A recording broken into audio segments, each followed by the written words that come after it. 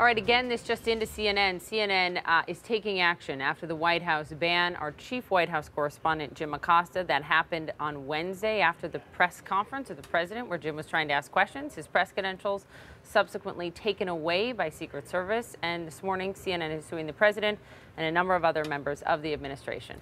Joining us now is attorney Ted Boutrous. He is the counsel for CNN in this lawsuit, along with Theodore Olson. Uh, Ted has argued multiple cases before the Supreme Court, federal courts as well. Uh, let me ask you first, uh, just to help our viewers understand the grounds for CNN's suit against the government, uh, both under the First and Fifth Amendment. Let's start with the First Amendment, uh, freedom of the press. I explain, explain CNN's argument here.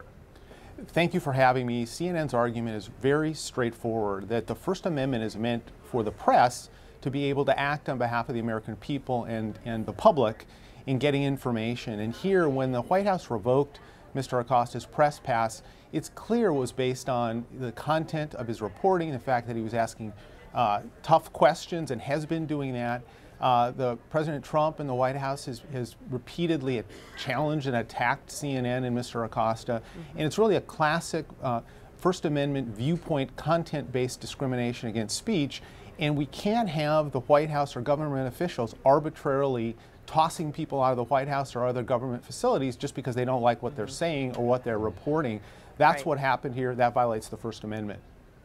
And there's some precedent for this. When you look back to 1977, the case of Robert Sherrill, uh, the, the district, uh, the D.C. Court of Appeals ruling uh, in, in his favor. Can you walk us through the Fifth Amendment, the due process argument here?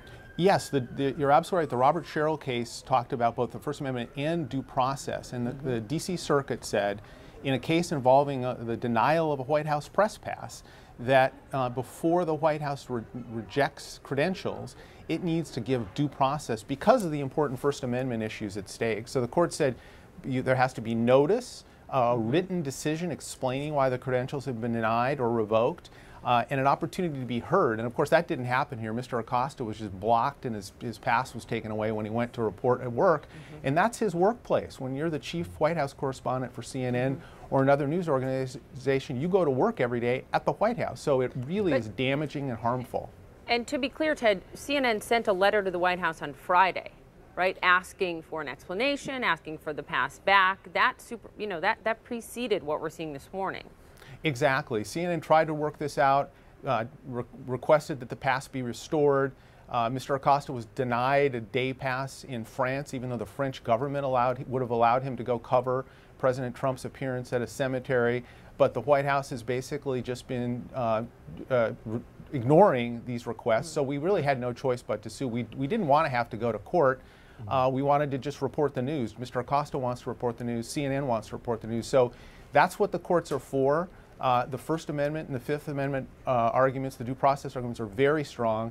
We're asking for emergency relief because every day that this pass has been revoked is a First Amendment violation and it's yeah. irreparable harm in the words of the law.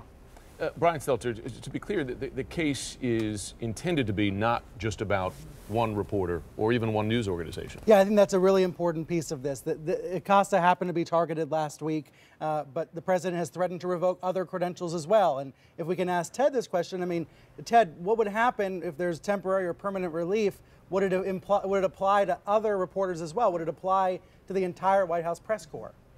Yes, that's a great point and a great question because, as you said, President Trump said he, this could happen to other reporters and really is the bigger principle here. And so we're advocating a legal principle that there should be a fair process, that there can't be discrimination based on the fact that President Trump or anybody in the White House doesn't like questions.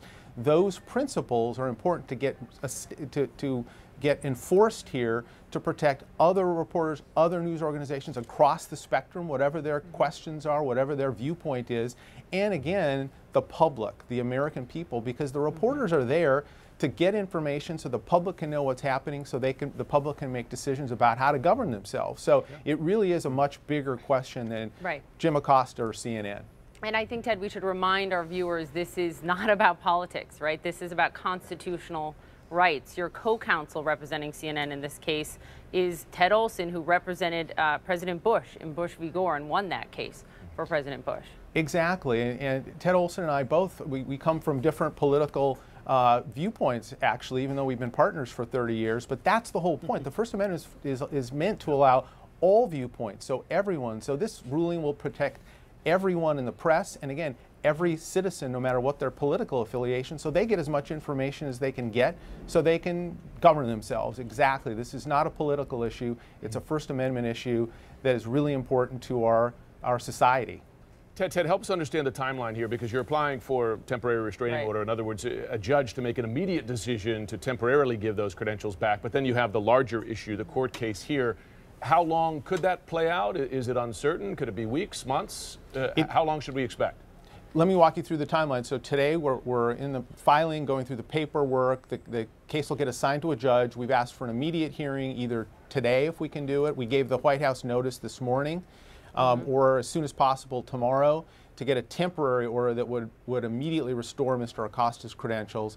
Then the way the process works, uh, there's a, a, a it has to be within 25 days a hearing on what's called a preliminary injunction, which is another temporary but longer order. And if, at that point, if, if we prevail and the White House is still fighting it, then you go on to a trial on the merits and a hearing on the merits. So that can unfold over a period of months um, mm-hmm. or, or even longer. But that's why we need immediate relief because, as you know, every, news is happening every second, every minute in the White House. You never know what's mm-hmm. going to happen. And every day that a reporter can't be there covering the news, they're injured mm-hmm. and, and the public's deprived of important information.